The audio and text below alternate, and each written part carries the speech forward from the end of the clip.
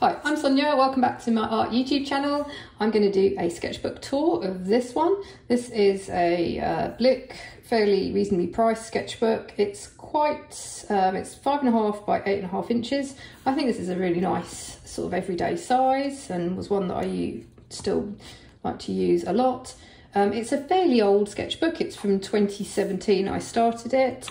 Back then, I think I'd, I'd sort of definitely over the last few years got back into um, drawing a lot. I just, I think I completed a daily drawing project for a year and I was definitely, definitely getting back into art, but I wasn't really keeping separate sketchbooks back then. I was still quite, you know, um, working on the kitchen table and I just kept sketchbooks with, uh, I just filled them up with a lot of different things. I didn't sort of separate out themes. It's kind of anything goes, but I think I did feel a little bit, it wasn't like a journal. It was, you know, I treated it as a, as a sort of proper sketchbook. So the first page, I kind of like this page. This is like with gouache paint, some flowers that I think I'd seen um, being planted out in the streets nearby. And then, yep, you can see just sketching cups and some irises. I was really into, uh, at that point, drawing, um, I guess I like really loved sort of illustrators and how they um, represented things. So I was always quite trying to draw food items, small food items, but how to make the page interesting. I guess it was like a record of some of the stuff we'd been, you know, if we went out or had, I had someone over and we got some Bundt, is that Bundt cake?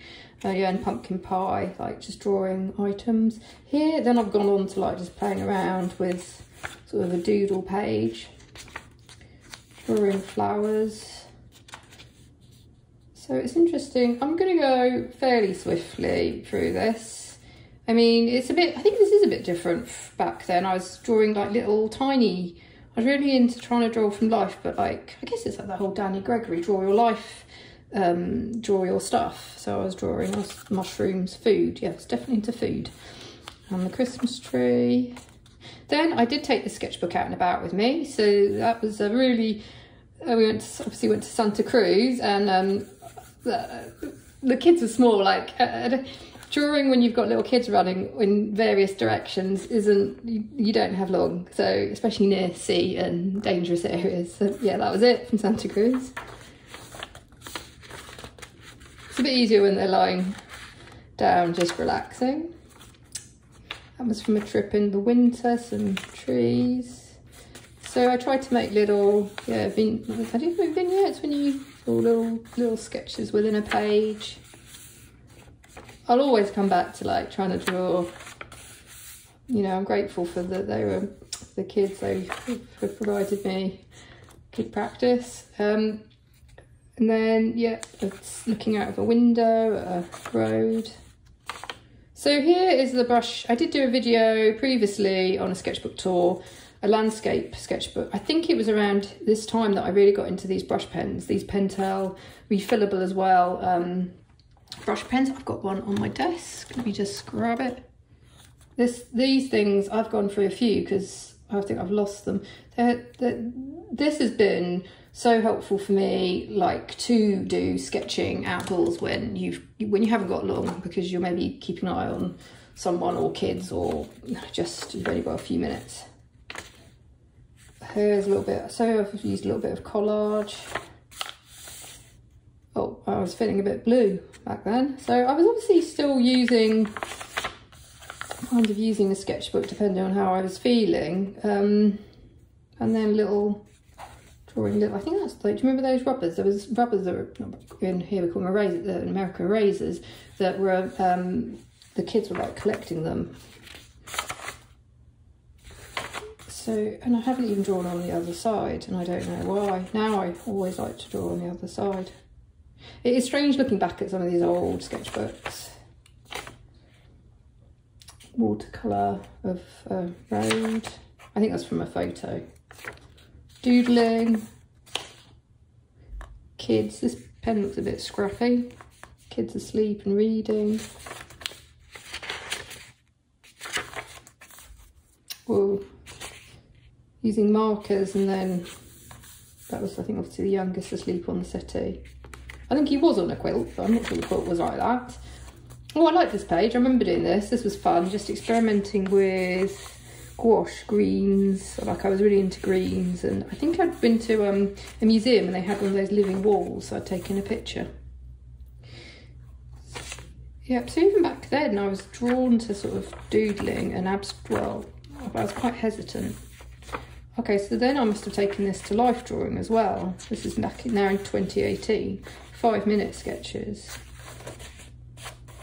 That's a longer sketch. So yeah, back I did use sketchbooks for everything. Like I would carry it around and now I now I have like I do have a lot of sketchbooks on the go, so I'd probably separate. I tend to separate work out more. I'd probably call this type of sketchbook now like an anything goes one. Um, but I, I definitely time was the kids were, were smaller, um, and I, time was more limited. So I think this size was good for back then, um, and it didn't. It was low pressure way of just getting a bit of uh, art in when I could. What's this? Oh, this is, then I got into portraits. I found like this Sktchy app, I think I've spoken about before, like the museum app where people post sort of like headshots that then they're happy to be drawn.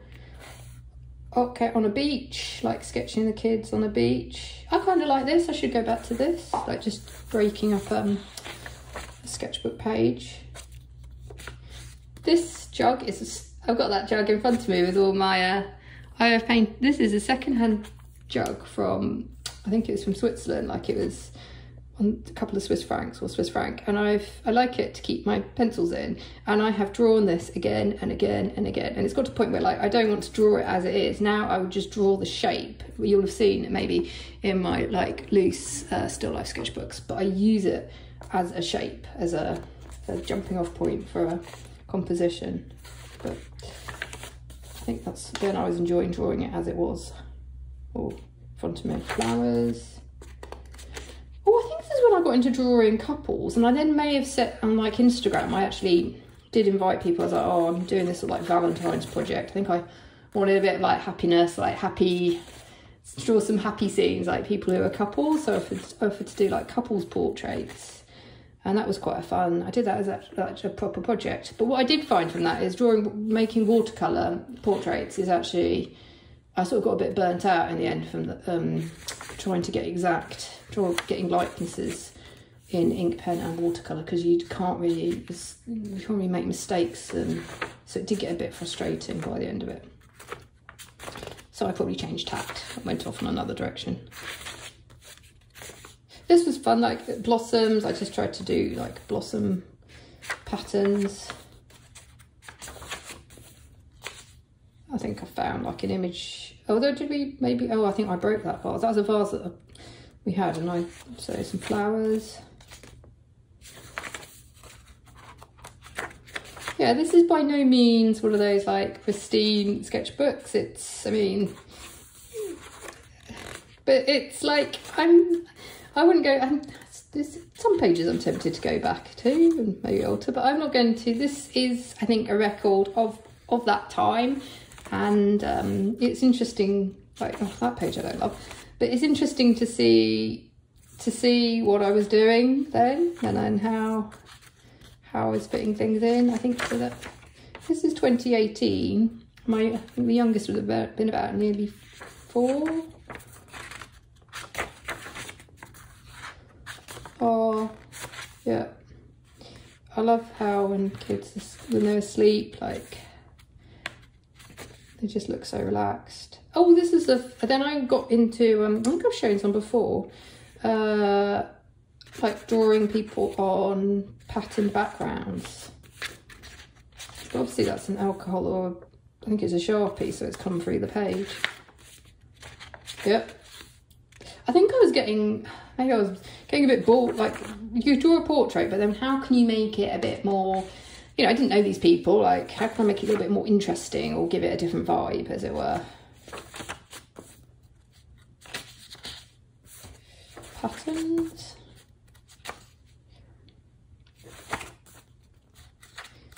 Very bare sketchbook page, but actually, sometimes there's just sometimes it is a good idea to keep some space around things.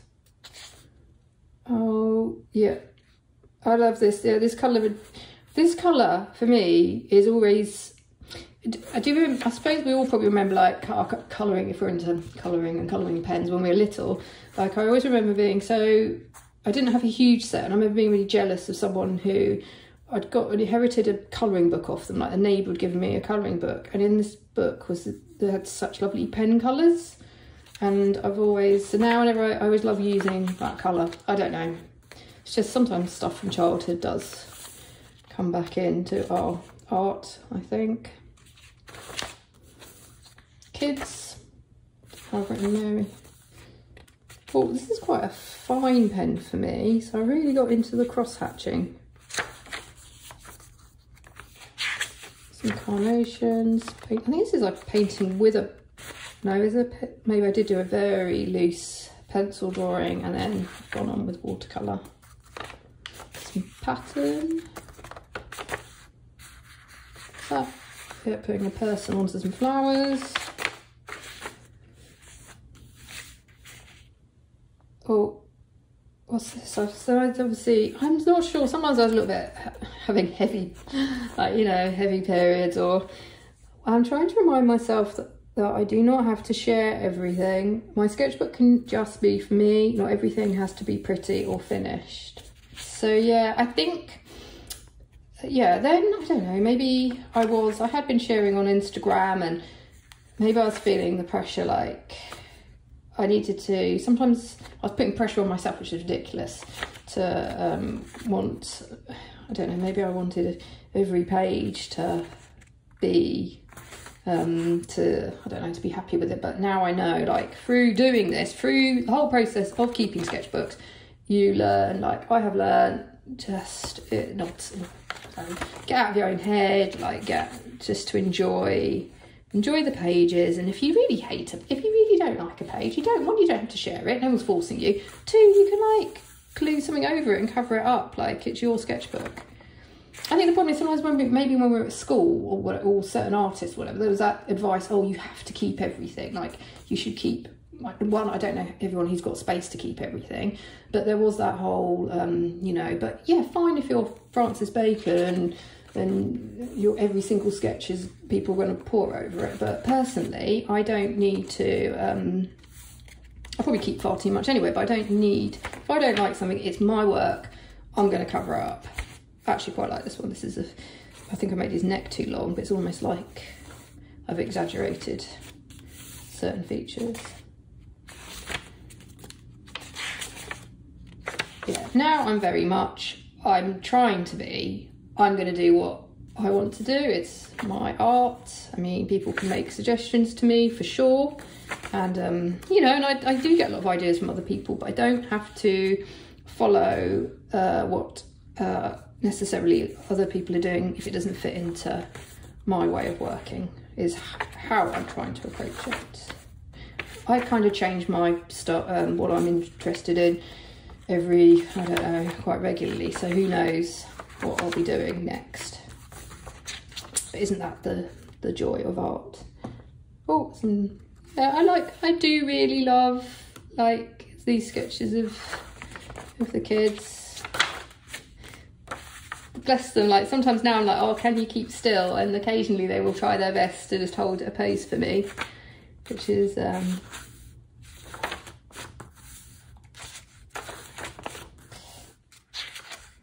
and then yeah, this one I was when I was thinking, should I even share this one because it's so um, this page I actually really really liked it. It's it's one of now what I'm probably more doing now. Like it's sort of crazy. I was obviously going crazy with mark making, and then I decided to stick a banana on top.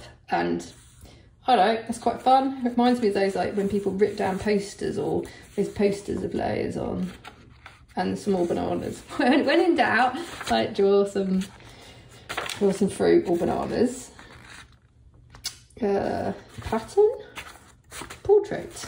Yeah, and this is the end. And then I think this is a little bit of my, one of my kids did this and I think I obviously didn't like the picture underneath it, but yeah, I, I don't know what, why I stuck that in. I just really like, maybe it's the abstract image that's some of the, oh, the trees in the garden.